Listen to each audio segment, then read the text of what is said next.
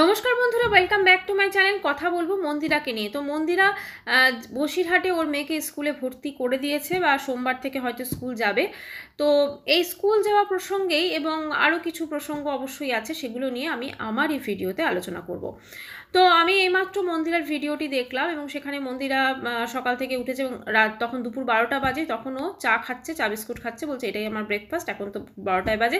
আমরা উঠেছি কিন্তু অনেক সকালে, যাই হোক, অত সকালে উঠলে তারপর বারোটার সময় চা খেলে মাঝখানের টাইমটা খিদে কী করে পেল না, সেটা একটা বিগ বড় কোশ্চেন মার্ক তো যাই হোক, মোটামুটি দেখলাম তারপরে ও বাইরে গেল, মারিয়ার মা রান্না করছে। মারিয়ার মা তো এখন কোনো কথাই বলছে না মন্দিরার সঙ্গে, ক্যামেরার সামনে।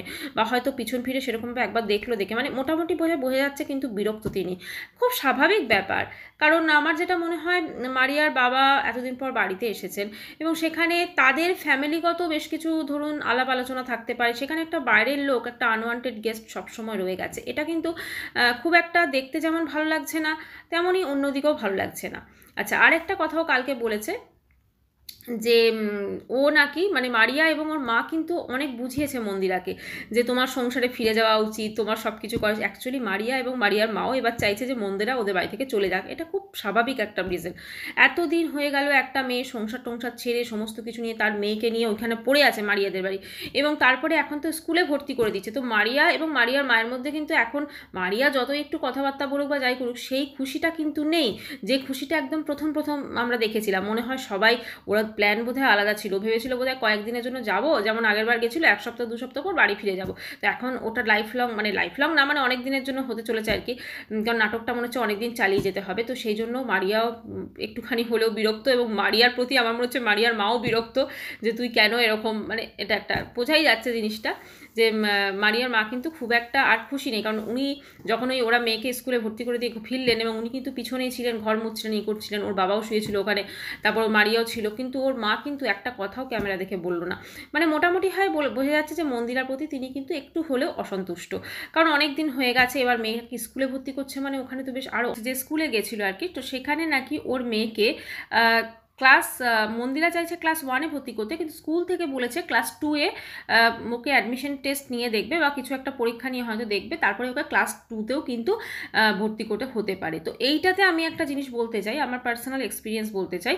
তো আমার মেয়ে এখন তো তেরো বছর বয়সও, তো অনেক বছর আগে যখন আমি ওকে ফার্স্ট স্কুলে ভর্তি করানো হয়েছিল, তো সেই সময় আমরা বাইরে থাকতাম এবং সেখানে সাউথের একটি জায়গা এবং সেখানে একটা প্লে, ওই স্কুল টাইপের প্লে স্কুল টাইপের যেখানে নার্সারি মানে এলকেজি অবধি বা হ্যাঁ এলকেজি এলকেজি অবধি ছিল। তো সেখানে আমরা ওকে ভর্তি করেছিলাম। তো সেখানে যখন আমরা গেছিলাম, আমরা চেয়েছিলাম যে ও প্রে গ্রুপে পড়ুক। কিন্তু ওখানে স্কুল থেকে বলা হলো না, একে নার্সারিতে ভর্তি করা যেতে পারে।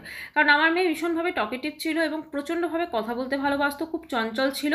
আর খুব, সেই সময় বাচ্চাদের একটা প্রবণতা থাকে, খুব ক্যাচ করে নিত জিনিসপত্র।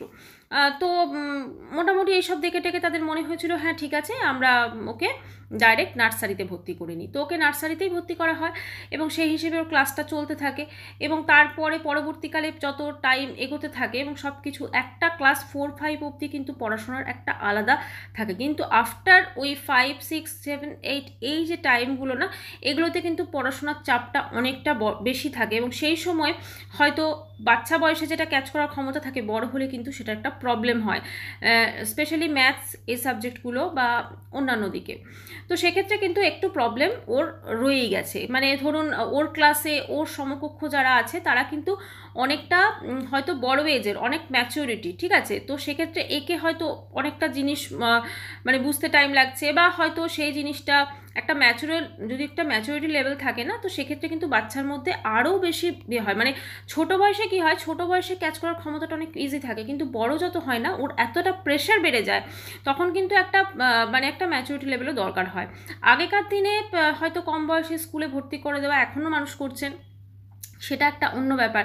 কিন্তু এখনকার দিনে পড়াশোনার চাপটাও কিন্তু থাকে ভালো। কারণ একটা সিবিএসসি বোর্ডের স্কুলে যে যে পরিমাণ সিলেবাস হয় বা যে কোনো ইয়ে হয়, সেখানে কিন্তু যথেষ্টভাবে কিন্তু ভালোভাবে পড়াশোনা করতে হয়। ব্রেনটাকে অনেকটা মানে কি বলব আরও বেশি কাজে লাগাতে হয়। কারণ এখন যেমন আমি আমার মেয়েকে অনেক সময় দেখি যে ভীষণভাবে হয়তো হাঁপিয়ে গেছে, ভীষণ ক্লান্ত, ভীষণে আমারই খারাপ লাগে, ঠিক আছে? তো এত কম বয়সে এসে মানে ক্লাসগুলো তো হাই লেভেলের হয়ে যায় না? তো সেইখানে একটু হায়ার ক্লাসে একটু প্রবলেম হলে হতে পারে। যদিও সেটা অনেকটা বিগ কিছু ইস্যু নয়।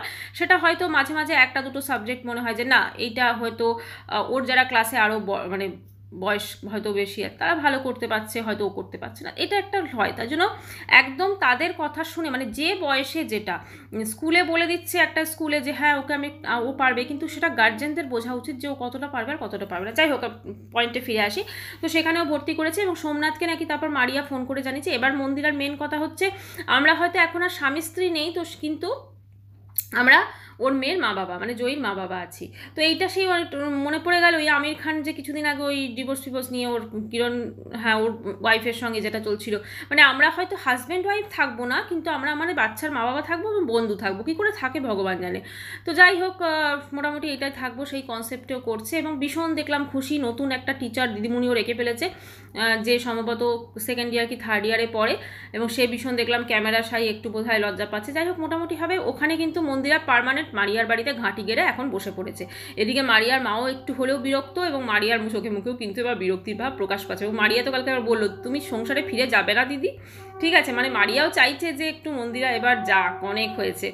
তো দেখা যাক ভবিষ্যতে কি হয়, কারণ এদের তো চমক এত থাকে। হঠাৎ করে একদিন দেখব সৌভাগ্য কুটিরে ফিরে গেছে। আচ্ছা আর একটা জিনিস ও বলছে যে ও পরবর্তীকালে হয়তো তিন চার বছর পর রানাঘাটে ফিরবে, কিন্তু সৌভাগ্য কুটিরে ফিরবে না। সৌভাগ্য কুটিরে ওর মেয়ে যাতায়াত করবে, ও অন্য কোথাও থাকবে। ঠিক আছে, দেখা যাক কবে ফেরে, কি হয়, না হয়, সবটাই তো আমরা নাটক দেখছি। এবং নাটক দেখতে দেখতে আমরা এতটাই মানে এখন মানে সিরিয়ালের মতো একটা ব্যাপার হয়ে গেছে। যতই আমরা বলি মন্দিরার আমরা ব্লগ দেখব না, এ করব না পাবলিসিটি দিচ্ছি, কিন্তু সব থেকে আগে যখন ও পাবলিশ পাবলিশ হচ্ছে, তো সবাই কিন্তু দেখতে আগে ওখানেই ছুটছে। তো বন্ধুরা, আজকের ভিডিওটা আমি এখানেই শেষ করছি। ভালো লাগে লাইক করবেন কমেন্ট করবেন। আর যদি এখনও চ্যানেলটি সাবস্ক্রাইব করেননি, তো অবশ্যই করে সাবস্ক্রাইব করবেন। আর তারপরে কিন্তু এত যাদের মনের মধ্যে দুঃখ, সে কিন্তু লিপস্টিক লাগিয়ে রিলস করছে কিন্তু। ঠিক আছে? মানে মন্দিরা সত্যি এরকম আমি দেখিনি কিন্তু খুব একটা। যাই হোক, আবার দেখা করছি নেক্সট ভিডিওয়ে বাই